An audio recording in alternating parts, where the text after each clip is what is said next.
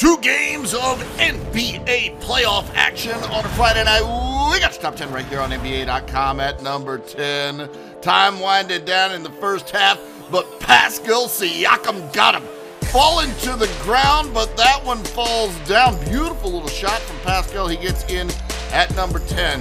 Moving along to number 9 to watch Jalen Brunson perform the quiet storm as he goes up for the soft jam after getting the steal. That's Jalen Brunson in at number nine. We're up to number eight, and this is looking great. Nikola Jokic up to Aaron Gordon, who's throwing that one down, and that looks like the Denver Nuggets. They get in at number eight. Up to number seven, and Jamal Murray tumbling out of the vault of heaven.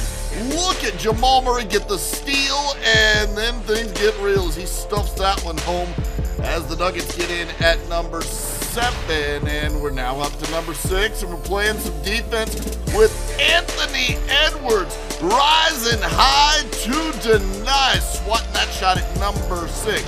Up to number five, and it's Isaiah Hartenstein doing some denying on Ben Sheppard, not treating Ben gentle at all as he swats that with the left.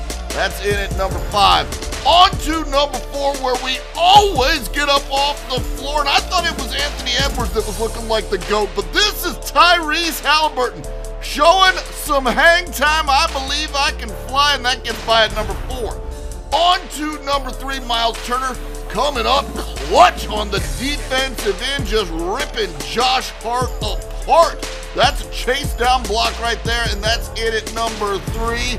And we stay with Miles Turner as the Indiana Hammer gets the huge slammer right there. A little pick and roll to the hole with Soul. He stuffs that one home to get in at number two. But at number one, if you saw, you know what's coming. They didn't name him Andrew Nemsoft. That's Nembhard way outside, and that turned out to be the game winner. Andrew Nembhard made his second shot of the night, but giving flight to that one gets him in at number one on the NBA.com